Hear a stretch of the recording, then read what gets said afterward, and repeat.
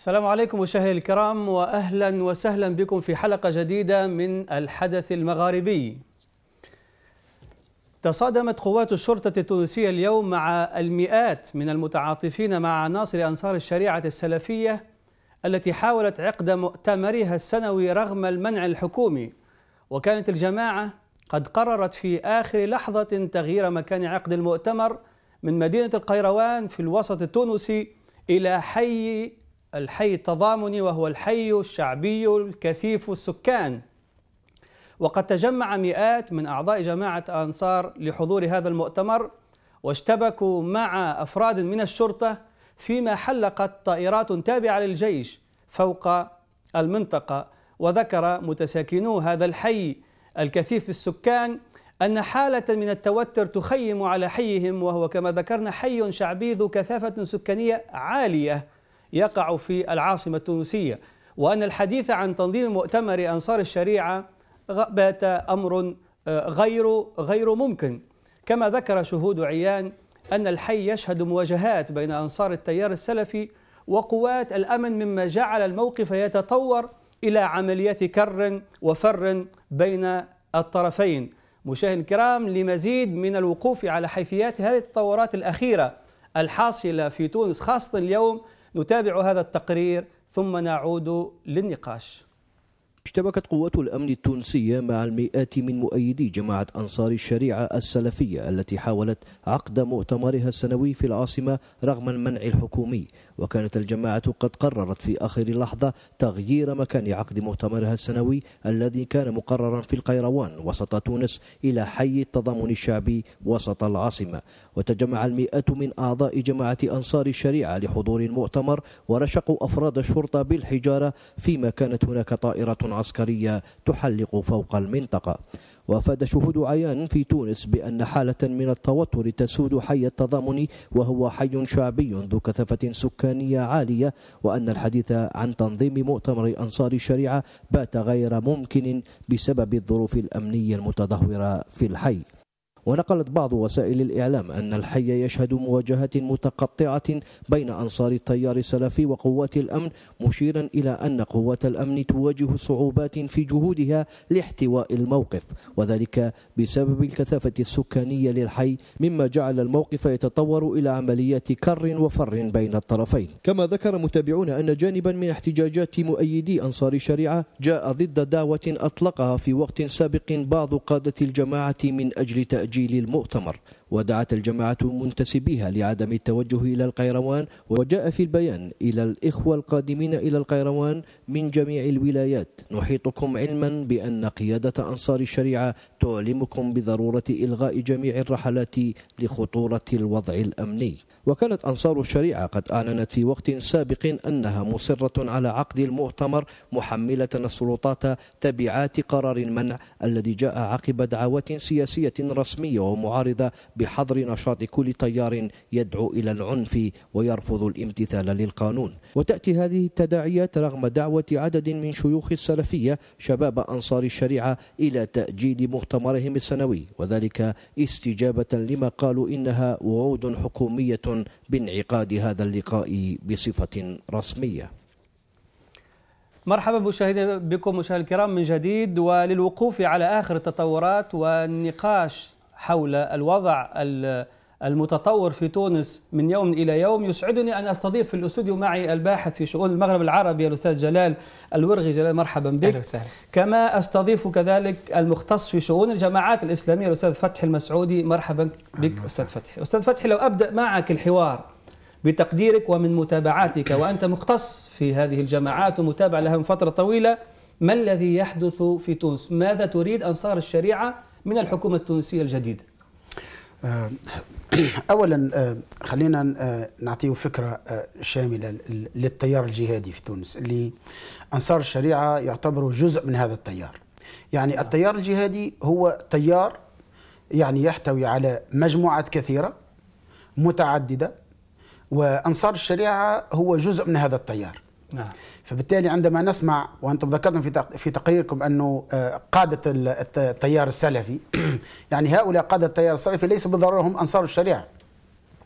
فأنصار الشريعة هو التنظيم الوحيد اللي موجود الآن في تونس يحاول أن يتهيكل يحاول أن يتنظم يحاول أن يكون له يعني آه، آه، تنظيم يتحرك فيه. وبالتالي آه، في تحركاته آه، يحاول أن يقوم بعدة أنشطة وهذه الأنشطة يتقاطع فيها يتقاطع فيها مع آه، بقية آه، يعني آه، مكونات هذا التيار. آه، فبالتالي آه، اللي حاصل آه، التيار عنده طريقته في العمل. هو طبعا لا يعترف بالدولة لا يعترف بالقوانين الوضعية لأن يعتبرها قوانين غير شرعية ولا يعترف بالحكومة القائمة لأنها حكومة أيضا لا تطبق الشريعة. فيعتبر أن حكمها حكم بقية ال- الأنظمة أو الحكومات القائمة.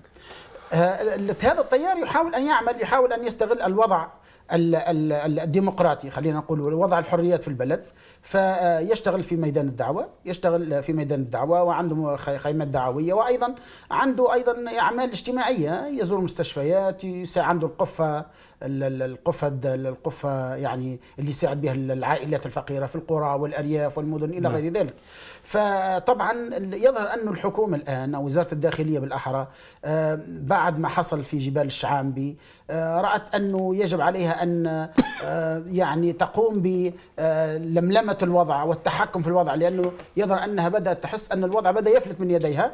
فطبعا حاولت أن تلغي كل من آه، كل هذه الأنشطة التي لا تحصل على رخص من طرف وزارة الداخلية. لكن أنت أستاذ فتحي كمتابع لهذا التيار ولأنشطة هذا التيار ما تقييمك لأنشطة أو لرد فعل خلينا نقول؟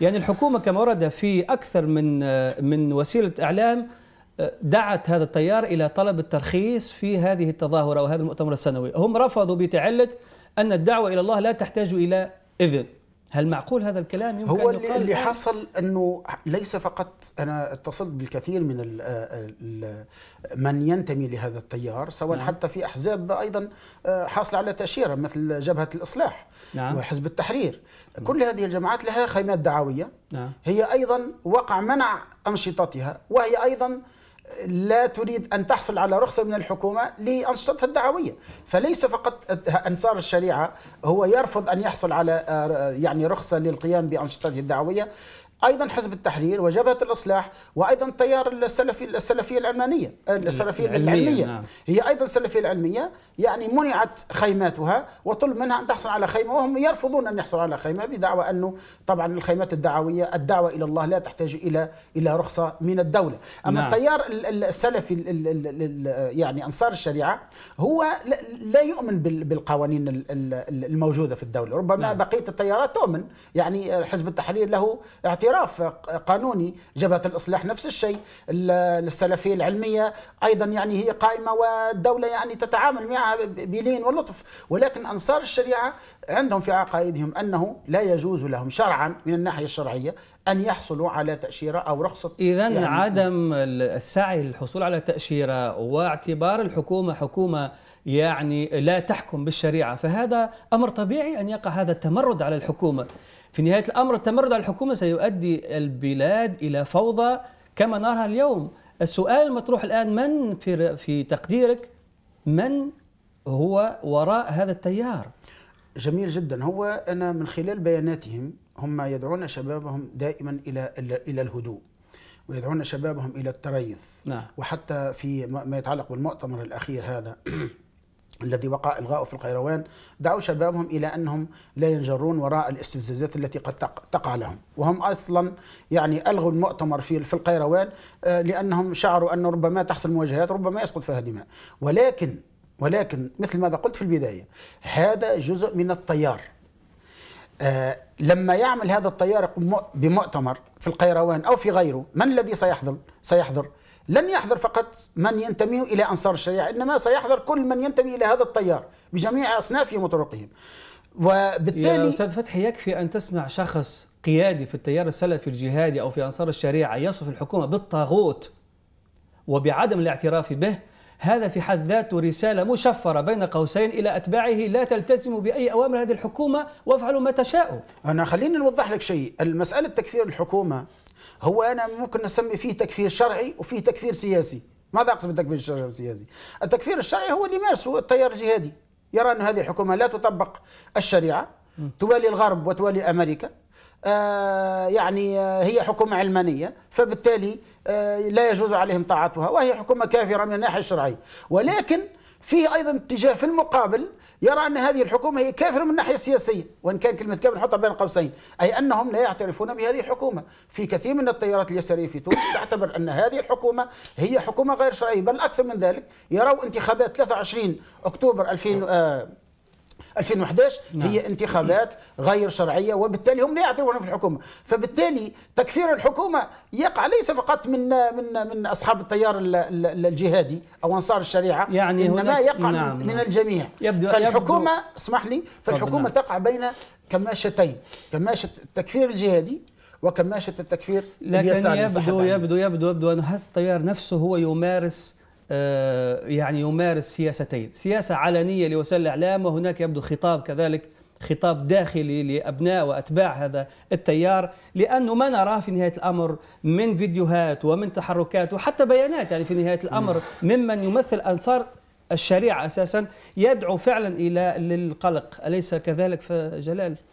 أه والله في تقديري أه سمير هو في كل الأحوال هذه الأحداث يجب أن نضعها في سياق عملية تحول تشهدها تونس نعم. وبالتالي لا يجب أن يعني أيضا نفاجأ أو نصدم أو حتى يعني تبدو الأمر كأنه يعني نوع من الانفلات وخروج عن المعهود تقديري أنه هذه حالة تحول حالة مخاض وبالتالي هنالك جماعات لا تزال تتدرب على العمل القانوني لا تزال تتدرب على آه، طريقة الانتظام والتعامل مع تحولات كبرى لأن هؤلاء الذين كثير منهم كانوا يشتغلون وكانوا يعملون إما آه، في يعني آه، تحت الأرض ممنوعين منعا باتا أو نعم. آه، مرمى بهم في الزنزانات في زنزانات الداخلية وفي في مسالخ الداخلية يتعرضون للتعذيب بالليل والنهار وبالتالي هذا التحول هذا الذي نشهده هو عملية تحول وبالتالي يحتاج منا إلى النظر إليها بطريقة علمية الأمر الثاني هو أن هنالك جماعات للأسف الشديد يعني بعد الثورة ليست فقط من التيار المحسوب على التيار الديني المتشدد وإنما حتى جماعات يسارية وعلمانية وحتى بعض المنظمات الاجتماعية التي تبدو لا تزال آه، يعني تنزع إلى التمرد على الدولة وتتمرد على القوانين وتعتبر أنه ما حصل آه، ليس كاف وهي تريد أن تفرض نفسها بشكل ليس آه، وفق ما يفرضه القانون وليس وفق ما تم التوافق عليه ولكن وفق ما تراه هي مناسبا لها. وبالتالي فال يعني هذه الاحتجاجات يمكن تبدو اليوم صدامية ولكن شاهدنا أيضا بعض الجماعات اليسارية أيضا تمردت على الدولة بنفس الشيء وتم التعاطي معها بنفس الطريقة. صحيح أنها رفعت يعني كان الإعلام متحيز لصالحها بشكل كبير ولكن في العموم هذا هو التحول. رأيي اليوم ما يحدث اليوم هذه آه، الذي يتعلق بأنصار الشريعة. أنصار الشريعة نفسها طيار ولا يمكن أن نتحدث عن منظمة أو جمعية وإنما هي طيار يعني متنوع آه، مجهول آه، ليس منسجم. فيه كثير من التناقضات فيه كثير من يعني عدم آه، الانتظام الفكري والسياسي. ولذلك لا نستطيع أن نحكم عليه بشكل كأنه مجموعة منظمة. هنالك آه، جزء منه قريب من تنظيم القاعدة بكل وضوح. يعني ويعني آه، لكن لا أحد لا أحد يعلن ذلك لحد الآن صراحة. نعم لا ولك يعني. ولكن في خطاباتهم في كثير من خطاباتهم هنالك من يشيد بتنظيم القاعدة ومن يشيد بايمن الظواهري ومن يشيد بفكر نعم. تنظيم القاعدة وهنالك آه، بعض المجموعات الأخرى داخل هذا التيار وتنسب نفسها لهذا التيار ولكنها لا تعلن صراحة ولا تتبنى إلى حد كبير آه، يعني أطروحات تنظيم القاعدة ولذلك هذه المجموعة نفسها ما زالت غير مفهومة وغير معلومة بالكامل لا للرأي العام ولا لوزارة الداخلية ولذلك هنالك صعوبة في التعامل معها في طيب. تقديري أنه يعني طيب. الذي يحدث اليوم هو آه، يعني رؤية لدى بعض من هذا التيار الذي يعتقد أنه آه، لا يجب أن يلجأ إلى الدولة لا يجب أن يسترخص من أجل القيام بنشاطات وفي تقديري هذا يعني فيه نوع من الخروج عن الإجماع نعم السياسي في نعم تونس. نعم.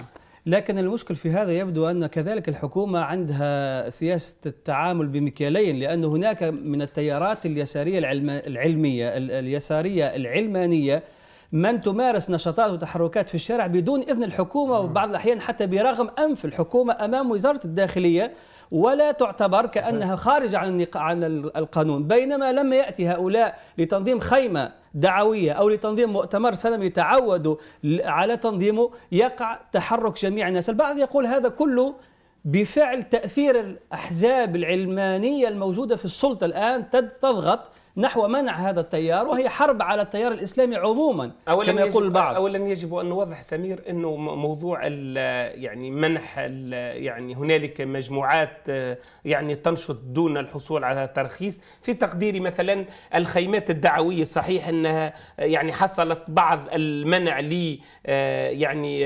مجموعات نظمت خيمات دعوية ولكن هذا بسبب عدم حصولها على رخصة.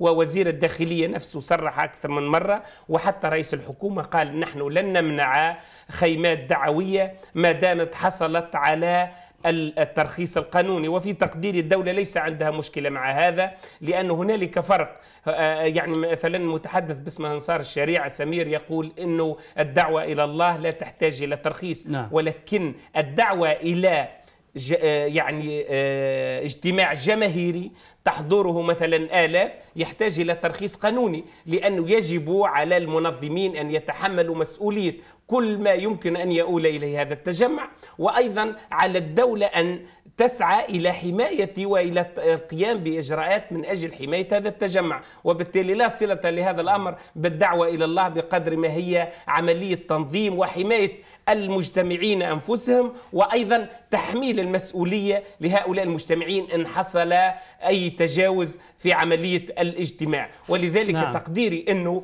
آه، آه، سياسة الكي بمكيالين آه، كانت هنالك بعض المؤاخذات ولكن تم تجاوزها اليوم الجميع يعني بالعكس في تقديري اليوم السلطة أرسلت رسالة واضحة أن الجميع متاح له مبسوط له الحرية ولكن الجميع سينفذ عليه القانون إن تجاوز وإن لم يستجب إلى الشروط والإجراءات القانونية المعمول بها من أجل أن تسير الأمور وعمليات النشاط بشكل معتاد ولكن في إطار ما ينظمه القانون وما يحميه القانون. وفي تقديري أنه يعني حتى تراجع أنصار الشريعة على مؤتمرهم السنوي في القيروان هو جاء جزء منه بإقناع جزء منهم ولذلك تراجعوا أما الذي حصل في الحي يعني أحد ضواحي تونس نعم. فهو كان يعني تجمع ليس كبير فيه يعني لا يزيد العدد على 200 نعم. نعم. 200 شخص نعم. وبالتالي يعني تحدثون عن 700 شخص نعم, نعم. آه، أستاذ فتحي ظاهرة التمرد على الدولة الآن هذه التي تميز التي خاصة تميز التيار السلفي أساسا كما ذكرت في البداية عدم الاعتراف بالدولة لأنها لا تحكم بالشريعة إلى غير ذلك. يعني هل تساعد فعلا على بناء مناخ من الحوار مناخ من الحرية للجميع أم أنها ستدفع الدفعة يعني ستجد الحكومة نفسها مكرهة وملزمة على منع هؤلاء الناس لأنهم لا يلتزمون بل لا يعترفون بها.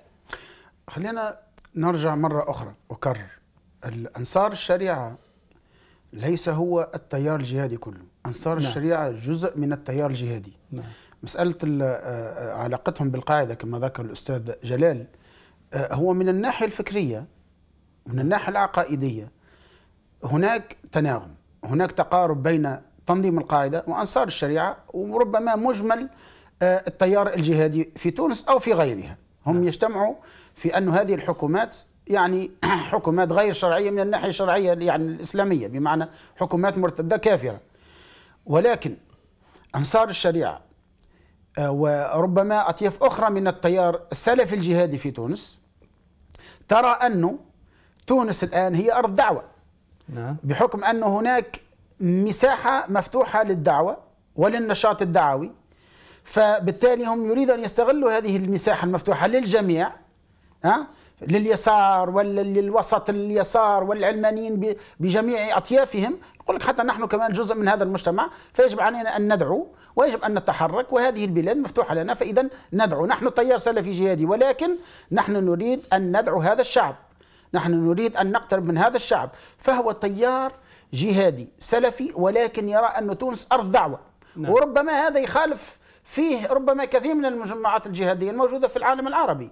فبالتالي طيب يعني هذا التيار نقطة إيجابية. يعني التيار يريد أن يستغل وحده لحاله يعني دون انضباط بالقوانين. هذه المشكلة الحاصلة الآن. المشكلة هو أن هذا التيار يعتبر النظام القائم هذا أو حتى النظام الذي سيأتي بعده. نعم. إذا ما كان يحكم الشرع ما يحكمش الشريعة. فبالتالي هو نظام غير شرعي. فبالتالي إذا كان هو نظام غير شرعي من الناحية الشرعية ما يعترفوا به. ولذلك هم وجدوا مأزق. أنصار الشريعة وجدوا مأزق. يقول لك نحن إذا ما نعترف بالنظام القائم فإذا لا يجوز الحصول على رخصة منه سواء لإقامة مؤتمر أو لإقامة خيمة دعوية إلى غير ذلك. فلذلك قام من ينتمي إلى التيار هذا التيار الجهادي يعني في يعني بصفة عامة نعم. بصفة عامة قام ب يعني السعي للحصول على رخصة لإقامة هذا هذا المؤتمر في القيروان اللي هو آه، الشيخ محمد خليل اللي هو عنده جمعية أهل السنة آه، أنصار السنة في في القيروان نعم. آه، أراد يخرج هذا أنصار السنة من المأزق اللي هم اللي هم موجودين فيه. طبعا أنت ذكرت أنه هل هم يريدوا أن يخرجوا عن الدولة أو إلى غير ذلك؟ طبعا هم مفهومهم للواقع الآن الموجود في تونس. ليس فقط أنه يروا ان هذه الحكومة لا تحكم بالشريعة. هم يرون أن هذه الحكومة أيضا ماشي في الركاب الغربي في الركاب الأمريكي. بل أكثر من ذلك يروا أنه الآن هذا المواجهة التي بدأت الآن لهذا التيار ليس بسبب الرخصة أو يعني السعي للحصول على ترخيص من أجل إقامة المؤتمر إنما هي أنا أسميها لحظة الصفر اللي هي تنطلق فيها الحكومة الآن بضغوط كما يقول كثير من من هؤلاء الناس بضغوط من الغرب وفي مقدمتها الولايات المتحدة الأمريكية لمواجهة هذا التيار لأن هذا التيار يظهر أنه بدأ يتسع بشكل كبير جدا نعم. داخل تونس وأيضا في ليبيا وأيضا في بقية بلدان المغرب العربي وفي العالم العربي وحتى في مصر أيضا نعم آه, آه، فبالتالي يسعى الآن هذه الحكومة تسعى لمواجهة هذا التيار حتى ولو طلب رخصة حتى ولو طلب تأشيرة إنما يظهر أن الحكومة ووزارة الداخلية وجدت في مسألة التأشيرة يعني منفذ تدخل به نعم لإلغاء يعني نشاطات يعني, يعني وكأن الحكومة يبدو حسب كلام فتحي نقلا عنهم من متابعاته أن الحكومة لا تعترف بهم وهم لا يعترفون بالحكومة وبالتالي سندخل في في فوضى ليس فقط غير لا محدودة يعني أستاذ سمير ليس آه، فقط لا آه، تعترف بهم نعم إنما يقولون أن هناك ضغوطات من أمريكا الآن بالذات ومن نعم. الغرب بشكل عام ولكن من الولايات نعم. المتحدة الأمريكية بالضغط على هذه الحكومة إذا أرادت أن يعني تعطي لها مساعدات أه؟ نعم اقتصادية أو غيرها أو دعم سياسي فيجب عليها أن إيه تظهر شدتها ومقاومتها خلينا قبل خلينا قبل التعليق نسأل جلال هل كل ما ذكره فتحي آه، فتحي الآن يبرر ما تقدم عليه هذه الجماعة؟ أنا في تقديري أولا أولا آه، حتى ما ذكره فتحي يعني يجب أن ننسبه في تقديري أنا آه، مطلع على الحوارات التي تجري داخل هذه الأحزاب التي تدير نعم. دفة الحكم اليوم وكلها بإجماع خاصة حركة النهضة ترفض رفضا قاطعا يعني استدعاء السياسة القديمة التي تأخذ الأشخاص بالشبهة والتي تتعامل مع هذه التيارات الدينية آه، باعتبارها تيارات متطرفة وبالتالي تركب مركبة ما يسمى بالحرب الدولية على الإرهاب وتشن حملة على هذا آه، هذه الجماعات. في تقديري هذا بالعكس تماما النهضة تنأى بنفسها عن هذا بل بالعكس تصر على أنه لا خيار غير خيار الحوار. وعلى إقناع هذه الجماعات. هؤلاء الأفراد هم في الحقيقة تربوا في محضن اجتماعي وسياسي وثقافي أنشأه بن علي. غذى فيه الكثير من التطرف والتشدد بسبب آه، محاولة سياسة تجفيف ينابيع التدين وإقصاء المتدينين والتضييق عليهم. ولكن اليوم اليوم هذا التحول فتح الجمال آه، المجال للجميع وبسط الحرية للجميع من أجل أن يمارسوا نشاطاتهم ويعبروا عن قناعاتهم في إطار القانون بعيد على أي إقصاء أو ضغط وبالتالي فالدولة والحكومة تصر اليوم على أنها لا تتعامل أبدا مع باعتبار أن هنالك ضغوط دولية وبالتالي عليها أن تواجه هذا التيار.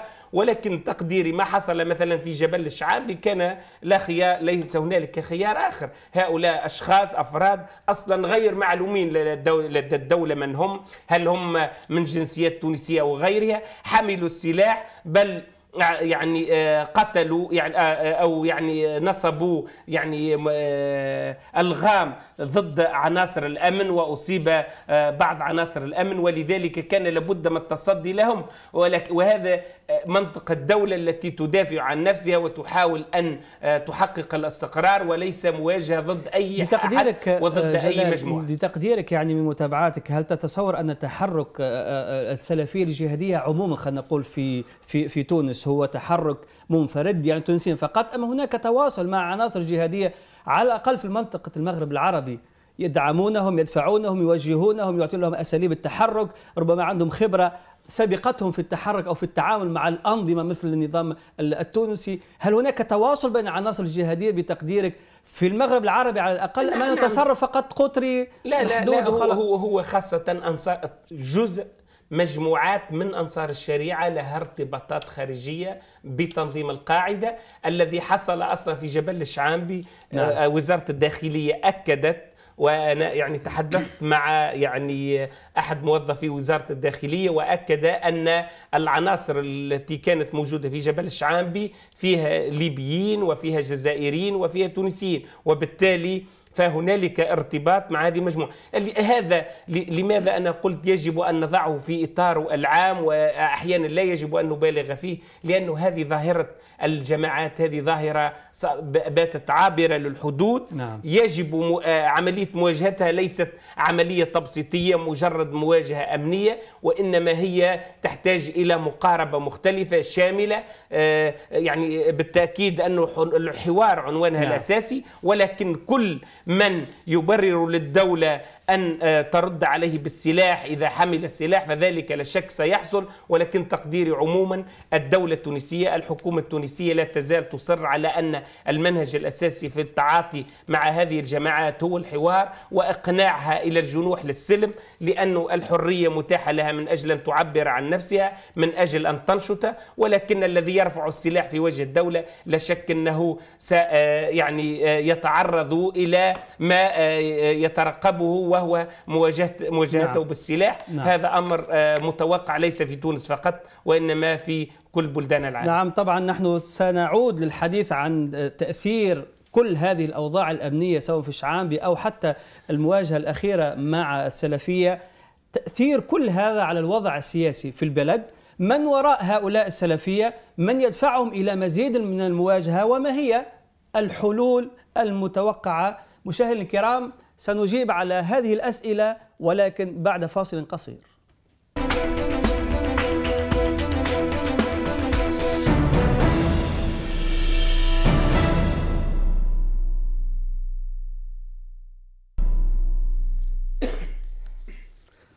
أهلا بكم من جديد مشاهدينا الكرام. نحن في حوار حول آخر التطورات على الوضع السياسي والأمني في تونس وقضية المواجهة بين الحكومة وبين السلفيين الذين حاولوا اليوم عقد مؤتمرهم في مدينة القيروان ودون آه، إذن ودون ترخيص ومنعته السلطات.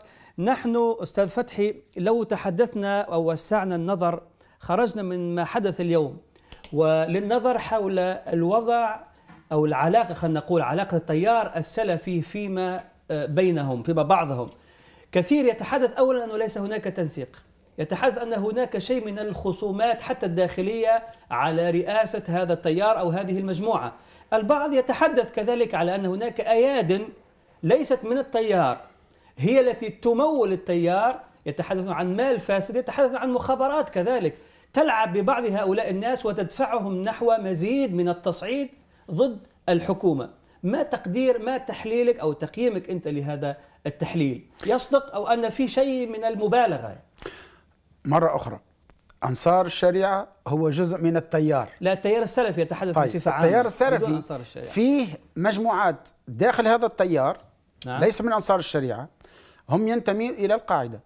نعم. يعني هم جزء من القاعدة. والقاعدة هي يعني يعني جماعة يعني ليس لها علاقة بالجنسية. بمعنى هي جماعة منفتحة. يعني ممكن تلقى فيها مجموعات من تونس من المغرب من الصين من الهند إلى غير ذلك. هي مجموعات منفتحة. فيه مجموعات في هذا الشكل تنتمي للقاعدة.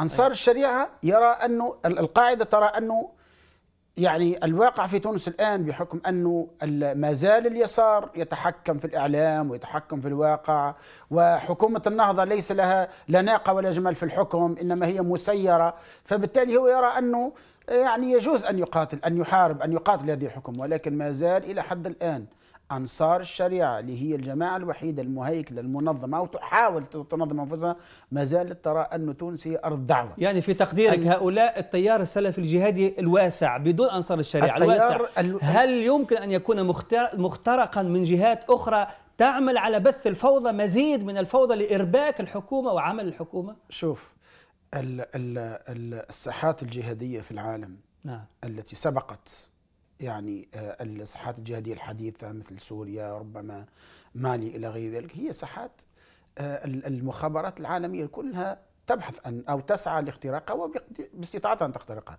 الساحة الأفغانية كان نعم. موجود فيها كل المخابرات العالمية أبداها من المخابرات العربية السعودية على نعم. التونسية على الليبية على كله على المصرية مرورا بالغربية إلى أمريكا إلى حتى الموساد. نعم. يعني هذا معروف يعني وكتبت فيها كتب بل بالعكس حتى الأسماء ربما موجودين من في أشخاص مسكوا مثلا في الساحه الأفغانية، الساحة البوسنية أيضا يعني ساحات مفتوحة هي. نفس الوضع قد ينسحب على تونس اليوم؟ تونس يعني ليست بمعزل عن هذا. هي تونس أصلا مخترقة الآن. تونس الآن هي مخترقة من طرف جميع أنواع المخابرات العالمية بما فيها المخابرات العربية والأمريكية وحتى الإسرائيلية وهذا ما ما يقولوش التيار الإسلامي في تونس أو يعني التيار هذا كلام خطير لكن هل لديك أدلة على هذا الكلام؟ حتى يعني ما هو دليلك على أن تونس عموما كدولة مخترقة من هذه الأجهزة الاستخباراتية العالمية؟ أول دليل هو أن نعم. المخابرات هو هذا هو عملها عملها أن تسعى لاختراق الساحات وخاصة ساحة مثل الساحة التونسية هي ملتهبة فأكيد ماشي. ستحاول هذه ال ال الأجهزة أن تتواجد في تونس عن طريق جمعيات عن طريق منظمات وحتى عن طريق أحزاب وهذا يعني موجود في تونس وتكلم عنه الكثير أنه آه، في جمعيات تمول من طرف الخارج ولها تمويلات كبيرة. يعني أنت جمعية بين ليلة ونهار يصبح لها مراكز ويعني أجهزة كمبيوتر ومقرات إلى غير ذلك بأموال طائلة جدا. من أين يأتوا بهذه الأموال؟ أكيد. يعني هل تتصور أن أجهزة مخابرات على كل على تقريبا منطق من نفس المنطقة مخابرات جزائرية مثلا كما يقول البعض أو فرنسية أو بالتعاون بين الفرنسية والجزائرية قد تخترق هذه الجماعات وتوجهها نحو مزيد كما ذكرت من إرباك ومن ضبابية المشهد السياسي حتى لا يحسب حتى لا يحسب لحركة النهضة أي إنجاز في تاريخ حكمها على الأقل؟ هو مثل ما قلت سواء الجزائر أو غير الجزائر أو فرنسا هي تحاول أن تخترق كل مكان في العالم بما فيه التيار الجهادي. ولكن خلينا نكون موضوعيين. نعم. التيار الجهادي له يعني سواء اتفقنا معه أو نختلف معه. يعني آه، له آه، له أسبابه الخاصة في آه، في العمل اللي هو يعمل فيه.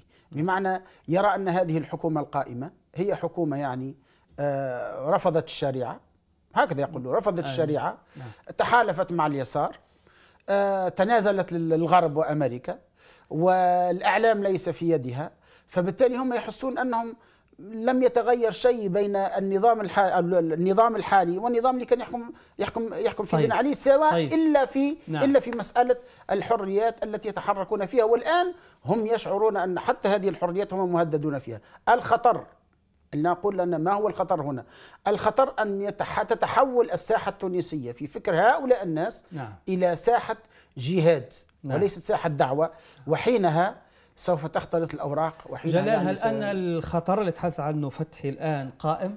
أنا في تقديري أنه يعني هنالك نوع من الإزعاج لا شك ولكن تقديري الخطر قام ولكنه سيزول لسبب بسيط هو أن الشعب التونسي في عموم سمته شعب معتدل يرفض مثل هذه النزعات العنيفة سواء من جهة اليسار ومن جهة اليمين أنت تعرف سمير الأحزاب اليسارية التي خاضت الانتخابات كم حصلت نعم. يعني أحسن حزب فيها حصل على 0.5% وبالتالي نعم. لا يتوقع لهذه التيارات المتشددة بيمينها ويسارها أن يكون لها مكان أو حتى مجرد محضن داخل تونس تونس أصلا أرض خصبة أرض سهلة لا يستطيع حتى الذي يحدث نفسه بأن آه، يعني ينزع إلى استعمال العمل المسلح أن يجد مخبأ له. وبالتالي آه، فضلا على حالة الإجماع السياسي والإجماع الوطني حول رفض هذه الظواهر وبالتالي هذه الظواهر شاذة. آه، هنالك تأثر بالمحيط الإقليمي ما يحصل خاصة في ليبيا من تدفق السلاح والحدود ولكنه لا يستطيع أن يحدث اختراق حقيقي أو يغير من المشهد يعني في الساحة التونسية. المشهد في الساحة التونسية يميل للاعتدال يميل للتسامح يميل لرفض كل أشكال العنف وفي تقديري سيبقى كذلك.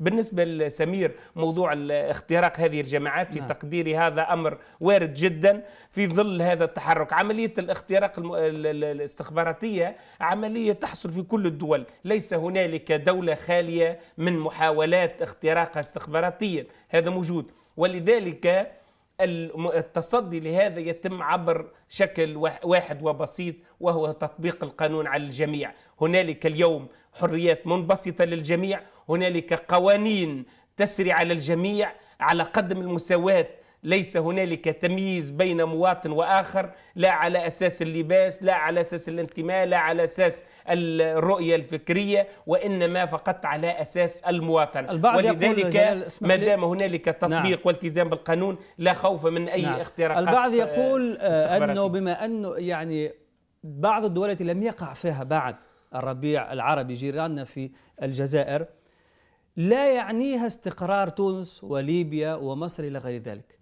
هذه تحاليل بعض المتابعين وبالتالي توتير حتى الوضع. يقولون أن عنده دخل كذلك وراءه كذلك الاستخبارات الجزائرية خاصة في أحداث جبل الشعامبي. البعض يعتبر أنها مسرحية وفبركة والبعض يقول أنها فعلا وقعت.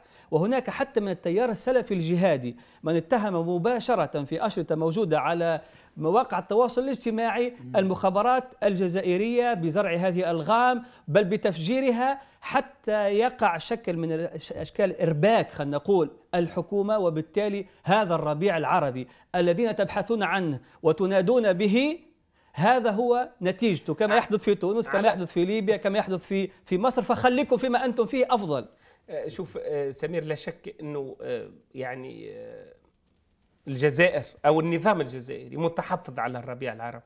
ولكن أن آه، نذهب بالتحليل أكثر من هذا هذا يحتاج إلى أدلة يعني فعلا حتى نكون آه، علميين ومنصفين. في تقديري إنه مثلا الجماعات الموجودة في جبل الشعامبي التي تم مواجهتها خلال الفترة الأخيرة هنالك معلومات تتحدث حتى على إمكانية اختراقها من قبل رموز النظام القديم رجال رجال أعمال ونافذين كانوا يتدخلون في إدارة السلطة في عهد بن علي اليوم يتدخلون من أجل ارباك السلطة القائمة الحالية لأنها بصدد فتح ملفات فساد وتوسيعها على كثير من أصحاب رجالات الأعمال نعم. ذوي المال الفاسد وبالتالي لا ليس هنالك اليوم دليل حقيقي على من يقف آه، يعني آه، بشكل واضح وراء هذه الجماعات ولكن تقديري المؤكد هي قراءات لن, نعم لن يكون دليلا واضحا ابدا لكن هناك قراءات هي اللي نعم من المستفيد دائما نسأل أنا, أنا, أنا أنا أنا يعني آه، حرصا على الإنصاف والموضوعية نعم. والتحليل العلمي في تقديري إلى أن يقوم دليل واضح وقطعي. لا نستطيع خاصة سمير إذا إذا تعلق الأمر بدولة مثل الجزائر لأنه يعني الجزائر آه، تاريخيا ليس فقط خلال العقود الماضية تاريخيا منذ مئات السنين الجزائر معنية باستقرار تونس معنية بما يحدث في تونس ولذلك لن تبقى متفرجة ولكن في نفس الوقت أن نتهمها اتهام مباشر بأن هي من يقف وراء هذه الحادثة أو تلك هذا في الحقيقة يحتاج إلى إثبات لأنه ليس من مصلحتنا أن آه، في تقديري أن تتوتر العلاقات التونسية الجزائرية وإنما هنالك نوع من ضرورة التفاهم على أن يكون الاستقرار هو سيد الموقف في كلا البلدين. أما أن تكون هذه الجماعات مخترقة من قبل بعض أجهزة الاستخبارات في الجزائر أو غيرها هذا في, في النهاية يعني جلال في إلى نعم في, في, في النهاية في النهاية الوضع في الجزائر ليس مستقرا في نهاية الأمر. يعني هناك احتجاجات يومية نتحدث عن احتجاجات الجنوب خاصة الأغواط ورقلة غيرها التي واجهتها حتى السلطة بالرصاص المطاطي وبعضهم حتى بالرصاص آه، الحي. هناك مواجهات يومية كما يقول بعض المتابعين. هناك الرئيس صحته يعني الآن في تدهور كما ذكر بعض الصحفيين آه، اليوم تقريبا كذا. بعضهم قال في غيبوبة بعضهم قال مات إكلينيكيا. الحكومة تقول هو في في فترة نقاهة. يعني وضع غير معلوم مجهول. فكل هذا يعين آه، أو خلينا نقول يدفع الجزائر إلى أن تتع... يعني تتعامل بشكل مباشر مع تونس في هذه الأحداث حتى تصرف النظر على ما يقع في داخلها. هذا هذا هذا آه، في تقديري مثل ما قلت يعني الجزائر مثلا الوضع الذي يحدث في مالي والوضع مع على الحدود مع المغرب ووضع الصحراء نعم. كلها في تقديري يعني آه، فتيل يعني متوتر وأوضاع متوترة فالذهاب الجزائر إلى فتح جبهة أخرى في تقدير على الحدود التونسية ستتضرر منها هي نفسها لأنه هي معنية بحماية حدودها. اليوم الجزائر منشغل انشغال حقيقي بما يحدث في جنوبها بما يحدث في, شما في مالي. وبالتالي من غير المتوقع أن تحاول أن تفح يعني تفتح جبهة أخرى خاصة سمير إذا ما علمنا أن هذه الجماعات إذا إذا ما حركتها يعني بسهولة تتحول إلى جزء من المشكل حتى على البلد الذي يحركها خاصة عندما يتعلق الأمر بالجزائر وحدودها الكبيرة والمفتوحة. ولذلك تقديري أنه صحيح أن الوضع في الجزائر لا شك يربك كل الدول الجوار باعتباره وضع متحول وضع بصدد التغير وضع غير مستقر. الجميع ينتظر ماذا سيحدث في الجزائر بحكم هذا الفراغ السياسي آه، مرض الرئيس عملية آه، سياسية يعني مؤجلة في تقدير هذا الوضع يعني غير يعني مريح لدول الجوار ولكن في نفس الوقت أن تلعب بعض الجهات داخل الجزائر في الدول الأخرى. آه، قد يكون هذا وارد ولكن هذا يحتاج إلى دليل بالتأكيد. نعم. فتحي فيما يخص آه، التصرف هذا السلفية بغير بدون انضباط خلينا نقول يعني. ألا يؤثر على العملية الانتقالية التي تعيشها تونس؟ ألا يؤجل يعني على الأقل استقرار أول دولة وقع فيها الربيع العربي لتقدم نموذج لتدفع باقي دول الربيع العربي إلى مزيد من الاستقرار؟ ألا يساهم عمل هؤلاء الشباب أو هذه الجماعات في عدم استقرار تونس وبالتالي تأخر انتهاء المرحلة الانتقالية؟ خليني نرجع مسألة الجزائر. يعني هو أكيد أخونا جلال هنا يمثل ربما يمثل الحكومة ويمثل النهضة اللي هي طرف أساسي في, لا لا في الحكومة أنت تمثل الحكومة فبالتالي أكيد لازم يكون دبلوماسي بس أنا خليني نعم. أكون أنا أمثل حد يعني أمثل نفسي نعم. الجزائر وأنا سمعتها من قيادات عليا في في النهضه وأيضا كانت في الحكومة يعني. سمعتهم مباشرة يقولون أن الجزائر كانت في الأول متخوفة بشكل كبير جدا من التغيير اللي حصل في تونس. ولا تزال.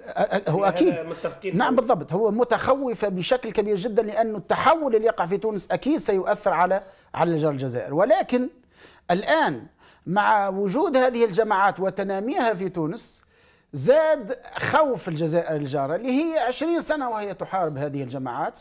20 سنة وما زالت تحارب هذه الجماعات. ما استطاعت أن تقضي عليها القضاء النهائي. طبعا آه، النتيجة كانت أكثر من 300 ألف قتيل. و... و17 ألف مخطوف. بالضبط ويعني ملايين الجرحى. فالآن الأخبار تقول أن أكثر من سبعة ألاف جندي على الحدود بين تونس والجزائر يعني في حالة تمشيط دائم. ويعني وضعوا حتى يعني أجهزة رادارات وأجهزة مراقبة قوية لأنه وجدوا أن النشاط الإسلامي أو السلفية الجهادية بدأت تتنامى فهذا أيضا سيربك الوضع في الجزائر أكثر لأنه يقول لك نحن حاربناها بالداخل فهي جاءتنا من من الشرق. فأكيد الجزائر يعني سوف تتخوف بشكل كبير جدا. إضافة إلى الوضع السياسي الداخلي ومرض هذا الرئيس. وأيضا إضافة إلى أنه ما زالت الجزائر تحكم من الجنرالات. ما نساوش هذا. وهؤلاء الجنرالات هم جنرالات فرنسا. لكن مسؤول سامي جزائري قال أن بوتفليقة تمكن من تحييد العسكر ولكنه فشل في تحييد المخابرات هو تحييد يعني من يحكم اليوم هو المخابرات هي الجزائرية وليس العسكر المخابرات يعني. التي تحكم في المخابرات العسكرية. ليس المخابرات التابعة وزارة الداخلية التي تحكم المخابرات العسكرية وهي مخابرات من أقوى المخابرات في المنطقة. يعني وهذه المخابرات هي التي قاتلت هذه الجماعات. مع العلم أنه النظام في النظام بن علي في تونس أيضا قاتل مع الأمن والجيش الجزائري ضد هذه ضد هذه الجماعات. وأيضا هناك من التونسيين من الأمن التونسي من قتل على يد هذه الجماعات في الجزائر في التسعينات. فنرجع إلى إلى سؤالك آه، آه، سمير. هو هل آه، التحرك السلفية الجهادية في تونس سيربك العمل السياسي؟ هو التخوف الكبير من هذه الجماعات يرون أن الثورة لم تكتمل بعد. التغيير لم يكتمل بعد. ما زال هناك من يتربص بتونس. ما زال ربما كما يقولون أزلام النظام السابق. أو فلول النظام السابق كما يقولون نعم. في مصر. تتهيأ للرجوع وأيضا هناك يعني إعادة تهيكل الساحة السياسية تعرف نداء تونس اللي هو يعني يحتوي على أطياف كثيرة جدا ومتنوعة ومن بينها التجمع المنحل. فيروا أن تونس هي ما زالت في خطر ما زالت يعني لم يتغير فيها الوضع بالشكل ال ال الكامل. فتحي إذا ما الحل؟ ما الحل؟ ما الحل الآن؟ حتى لأن الحصة انتهت. ما الحل للخروج من هذه الأزمة والدفع نحو استقرار هذه تونس حتى تقدم نموذج لشعوب أخرى وتدفع شعوب أخرى نحو البحث عن ربيعها كذلك. تسألني عن الحل؟ نعم. الآن المعركة ليست أقل معركة من دقيقة. أقل من دقيقة. نعم. المعركة في تونس ليست معركة سياسية. المعركة أصبحت معركة إيديولوجية عقائدية. من الذي سينتصر؟ هو الذي سيحكم تونس في المستقبل. آه سواء كان من التيار الإسلامي أو من التيار اليساري. لكن في نهاية الأمر الشعب سيختار. الشعب سيدفع. أنا أعتقد أن الشعب سيدفع ضريبة كبيرة جدا في هذا الموضوع. ماذا تقصد؟ أقصد أنه إذا تحولت تونس إلى أرض جهاد وليس أرض دعوة حينها آه الوضع سيكون وضع خطير قال جدا. جلال حسب تحليله هذا الوضع لا يمكن تتحول تونس والله هو يقول لا يمكن إلى أرض لا ننسى الأحداث يعني. شوف سمير ليبيا مفتوحة الآن. فيه مدن بأكملها في ليبيا وقرى وأرياف في ليبيا تحمل يعني عندها مخازن من نعم. السلاح نعم. الذخيرة الذخيرة بجميع أنواع الأسلحة نعم. تونس مفتوحة ليبيا مفتوحة وليبيا هي على الحدود مع تونس عندها حوالي أكثر من 400 كيلو مع تونس نعم. فبالتالي هذا السلاح سهل أن يدخل إلى تونس حتى ولو مسكت وزارة الداخلية يعني مخازن كثيرة فأنا أقول أنه هذا السلاح سيتسرب وسيزداد في التسرب. وربما إذا تحول تونس إلى ساحة جهاد ساحة قتال. يعني فتحي في في في ثانية تقديرك أنت الحل في كلمتين واحد اثنين الحل الآن. ما المخرج الآن من هذه الأزمة؟ كيف يمكن أن نخرج من هذه الأزمة حتى يبقى التيار الإسلامي على الأقل قريب من بعضه ولا يدخل في صراع؟ الحل هو أن يحاولوا أن يحتويوا هذا السلفية الجهاديه يحاولوا يحتويوها تحكي عن الحكومة أم تحكي عن الأحزاب الإسلامية؟ يعني أتحدث عن عن حركة النهضة بالأحرى. okay. لأن اليسار نعم. أصلا في خلاف اليسار يريد الاستئصال. ماشي. نحن عندنا جهتين يريد يستأصل هنا عن يعني التيار اليساري والتيار الإسلامي. الاثنين يريد أن يستأصلا بعض يعني النهضة لابد أن تقوم بعملية احتواء لهؤلاء الجماعات هذا ممكن يعني في؟ هذا ممكن ولكن أعتقد أنه ما زال الطريق ما زال مثلا حبيب اللوز صادق نعم. شورو ما زال عنده خيوط في التحرك في التحاور نعم. ولكن يظهر أنه في نعم. أطراف أخرى أيضا داخل النهضة تسعى للمواجهة نعم جلال كلمة أخيرة لو أنا في تقدير الحل في تقديرك نعم في تقديري أنه الحل هو أنه مزيد من تعميق الحوار مع كل الأطراف نعم. وتجفيف نعم. ينابيع التطرف لجهة نعم. اليمين ولجهة اليسار لا مجال في تونس لمن يريد أن يعني يفرض على تونس نمط مجتمعي معين سواء كان من جهة التيارات الدينية أو من جهة التيارات اليسارية نعم. هذه التيارات المتشددة يمينا ويسارا لا مكان لها في تونس إذا ما رفضت الحوار تقديري أنه الحوار وترسيخ قيم التعددية والتسامح والديمقراطية هو الحل الوحيد والذين آه، يعني آه، يريدون أن آه، يعني يتمعشوا من التطرف يمينا ويسار هذا سيحسم فيهم المجتمع سيهمشهم المجتمع وفي تقديري أنه صوت التسامح صوت التعدد والاختلاف هو الذي سيعلو هذه المعركة. نعم، شكرا لضيفي الباحث في شؤون المغرب العربي الأستاذ جلال الورغي. والمختص في شؤون الجماعات الإسلامية الأستاذ فتحي مسعود. شكرا جزيلا لكما. شكرا. مشاهدينا الكرام بهذا نأتي إلى نهاية حصة اليوم من الحدث المغاربي إلى أن نلقاكم في الحدث القادم. بحول الله لكم مني ومن كل الفريق العامل تحية طيبة. والسلام عليكم ورحمة الله.